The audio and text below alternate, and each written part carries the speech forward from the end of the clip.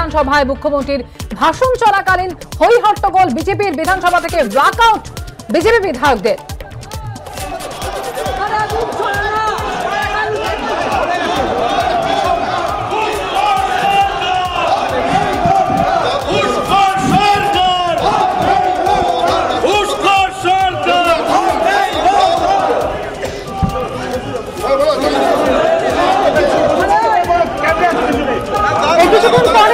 বিধানসভা থেকে বেরিয়ে আসেন বিজেপি বিধায়কেরা এবং তাদের পূর্ব নির্ধারিত যে কর্মসূচি ছিল, পশ্চিমবঙ্গ দিবস উপলক্ষে তারা একটি মিছিল করছেন শুভেন্দু অধিকারীর নেতৃত্বে। কথা বলব এই নিয়ে। পার্থপ্রতিম ঘোষ প্রতিনিধি রয়েছেন সরাসরি আমাদের সঙ্গে। পার্থপ্রতিম মিছিলকে কেন্দ্র করে ঠিক কি ছবি ধরা পড়ছে?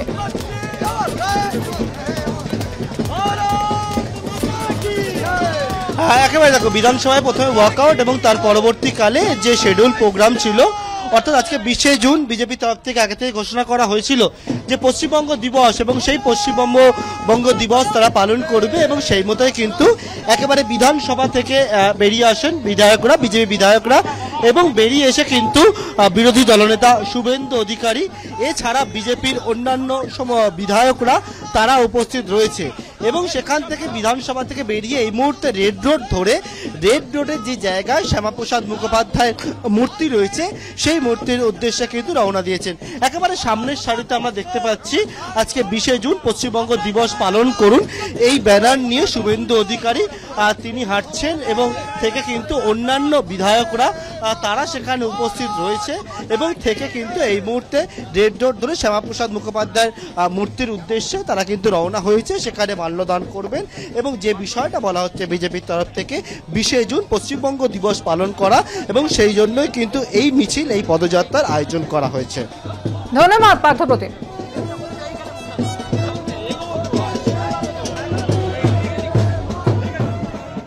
অগ্নিপথ প্রকল্পে চার বছরের যে চাকরি তা সেনার চাকরি নয়। এটা সেনাবাহিনীর তরফ থেকে ঘোষণা করা হয়নি। এটা ঘোষণা করা হয়েছে স্বরাষ্ট্র মন্ত্রকের পক্ষ থেকে। চার বছরের চাকরির নামে দু হাজার চব্বিশের আগে ক্যাডার তৈরি করতে চাইছে বিজেপি। বিধানসভায় অগ্নিপথ নিয়ে বিস্ফোরক অভিযোগ মমতা বন্দ্যোপাধ্যায়। অগ্নিপথ প্রকল্পে চার বছরের যে চাকরি তা সেনার চাকরি নয়। এটা সেনাবাহিনীর তরফ থেকে ঘোষণা করা হয়নি। এটা ঘোষণা করা হচ্ছে স্বরাষ্ট্র মন্ত্রকের তরফ থেকে। চার বছরের চাকরির নামে দু হাজার আগে ক্যাডার তৈরি করতে চাইছে বিজেপি। চার বছরের চাকরি চলে গেলে কি হবে কেউ জানে না। অথচ সবাই বন্দুক চালানোর লাইসেন্স পেয়ে গেল। সারা দেশে আগুন নিয়ে এইভাবে খেলা হচ্ছে। বিধানসভায় বিস্ফোরক অভিযোগ মমতা বন্দ্যোপাধ্যায় অগ্নিপথ প্রকল্পে চার বছরের যে চাকরি, তা সেনার চাকরি নয়, এটা সেনাবাহিনীর তরফ থেকে ঘোষণা করা হয়নি।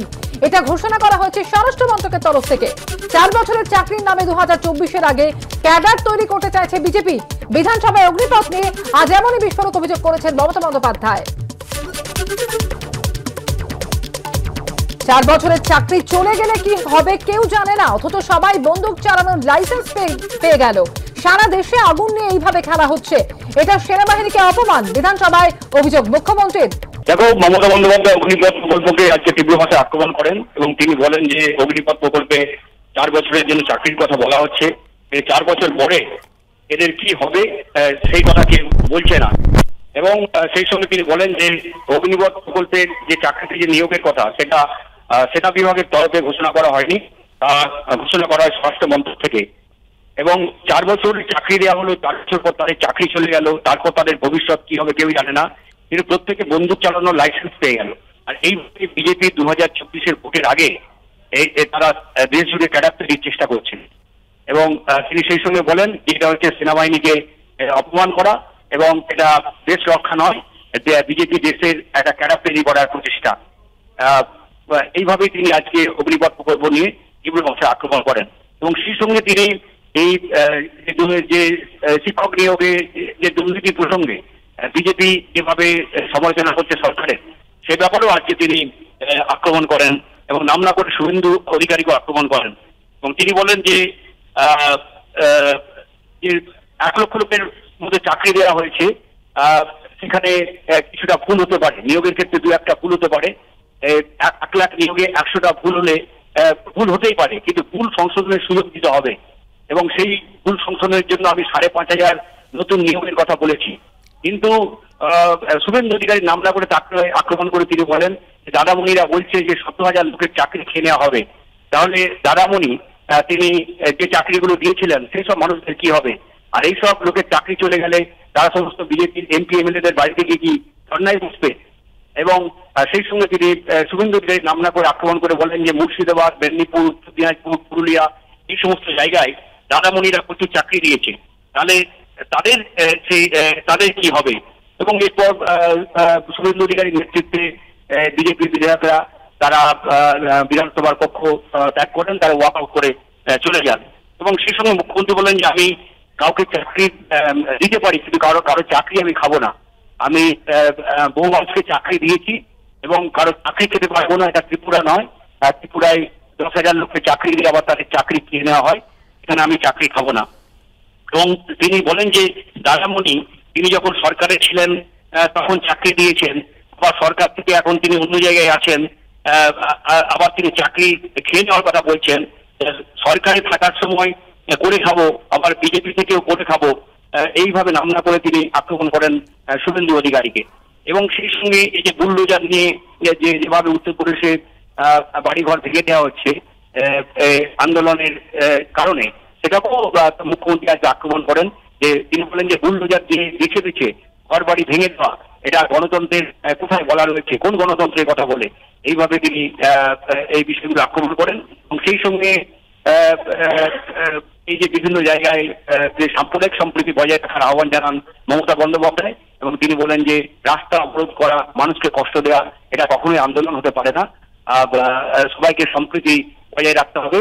বাংলার সংস্কৃতি, সম্প্রীতি এসব মাথায় রেখে সবাইকে সম্প্রীতি বজায় রাখতে হবে এই আহ্বান জানান মুখ্যমন্ত্রী। ধন্যবাদ আশাবুল তোমাকে।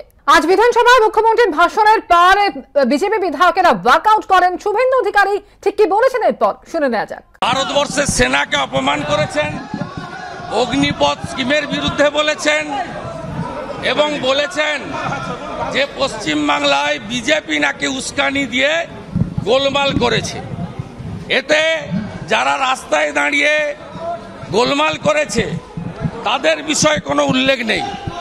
হাওড়া, উলবেড়িয়া, সলপ, বেতুয়াডহরি, নাকাশিপাড়া, রেজিনগর, বেলডাঙ্গার ঘটনা তিনি চাপা দিতে চেয়েছেন। ক্ষতিগ্রস্তদের এবং দুষ্কৃতকারীদের বিষয়ে একটা বক্তব্য নেই। হুমকি দিয়ে বলেছে, সতেরো হাজার প্রাইমারি চাকরি গেলে সেই লোকগুলোকে নাকি বিজেপির নেতাদের বাড়িতে, এমএলএদের বাড়িতে পাঠাবে। মুখ্যমন্ত্রী হুমকি দিচ্ছেন যে বিজেপির সত্তর জন এমএলএর বাড়িতে যাদের চাকরি গেছে তাদেরকে পাঠাবেন। আমাদের বিজেপির এমএলএদের বাড়িতে গিয়ে তারা আমাদের বাড়ি ঘেরাও করবে, ভাঙবে, আইন শৃঙ্খলা হাতে তুলে নিবে। এইটা রাজ্যের একজন মুখ্যমন্ত্রীর ভাষা। তার এই অসত্য, কুৎসিত ভাষণ আমরা না শুনে বেরিয়ে এসেছি।